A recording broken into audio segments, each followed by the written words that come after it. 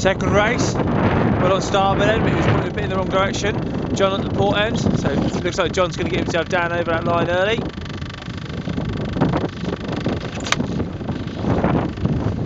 Paul's obviously going to be coming at him on starboard, so let's see what it all depends on what John does now. Looks like he might be managing to get himself over here. I better get out of the way. So John's managed to get himself out in front, which is good. Just getting a bit clear. So just just decisions right here now, but I'd still say Will's in a bit of a controlling position.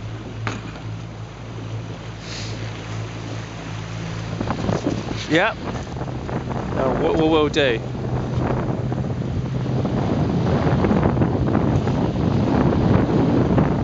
Who's got the ball to get in this corner? John needs to slam that around there now. Oh, Will took it out again in the corner at the depth.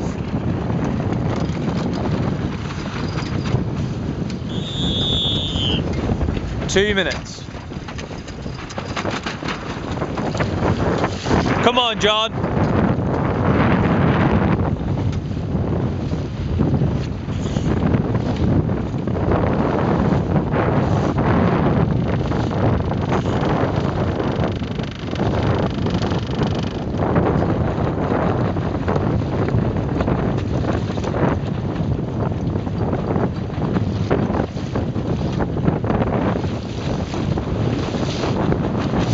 Doing you a massive favour there, mate. You're gonna have to work at this. I, I don't really understand what your plan is right now.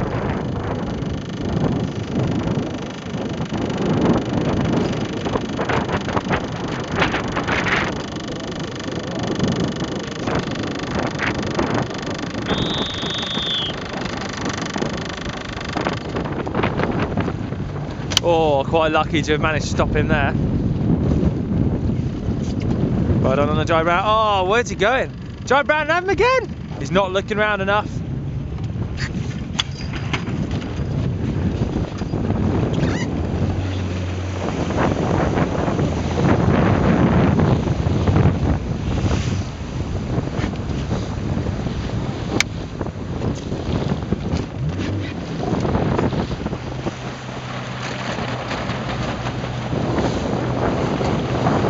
Let Will go.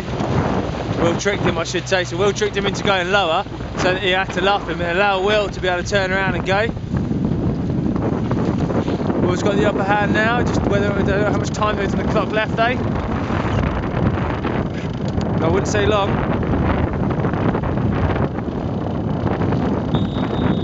That's it, they're off. So no rule infringements yet. Nice quick tap there from Will. Don't know why John did that. He should have carried on going and crossed him on top.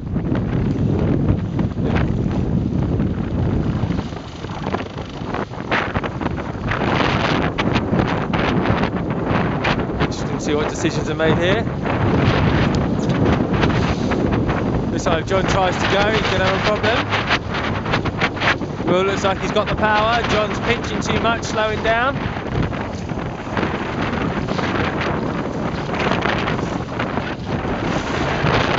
John's looking at his options. Not got many.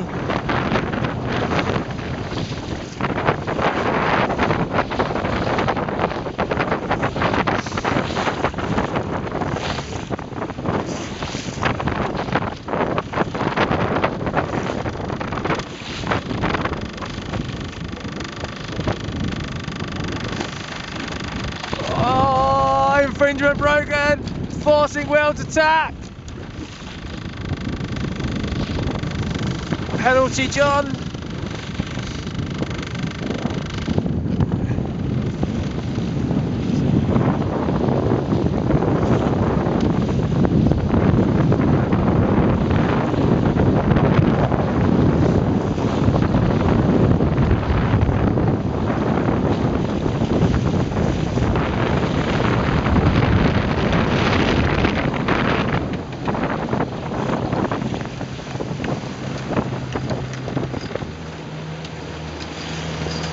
Can he get right to Roo?